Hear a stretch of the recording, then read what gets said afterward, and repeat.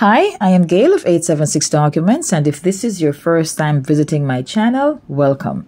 In this video, I'll be talking about the new Immigration and Customs C5 form that all persons entering Jamaica must complete. I will also be talking about the form getting hijacked this week, and I'll also go through the form to show that there is definitely no fee for completing this form. So sit tight and let's get into it.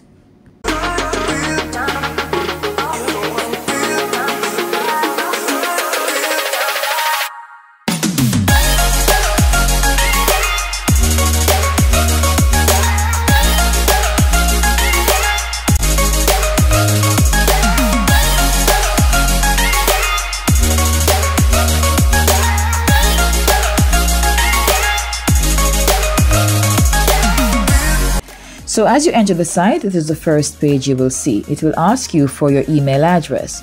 You will enter an, a reliable email address where you're sure to get the code. And once you receive the code in two seconds, no more, you enter the code and you are in the form. Now it just asks you for the basic information it would ask you for on the paper form that you would receive from the flight attendants. Your name, your address, your phone number, where you're staying, where what airport you are traveling out of, what airport you are flying into, your flight date, your airline, your flight number, and the rest, you know, you're familiar with it. Um, you just fill the information in, and when you're done, it doesn't take more than five minutes.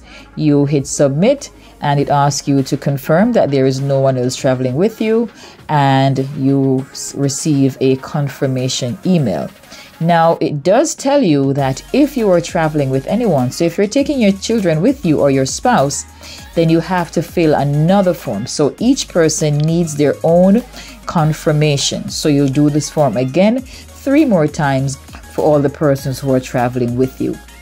But um, as you can see, I'm just filling in all of my basic information and I'm going to fast forward through this part or play it on silent so you can just pretty much see what the questions are.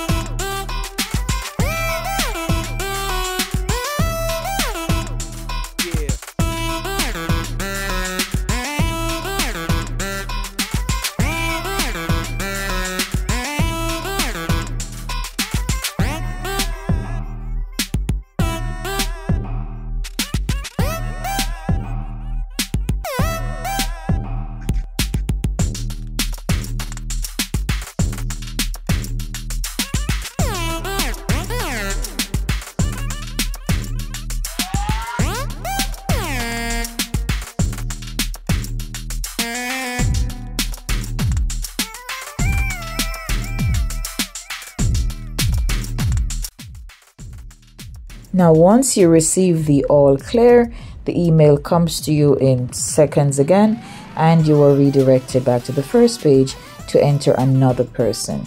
And that is it.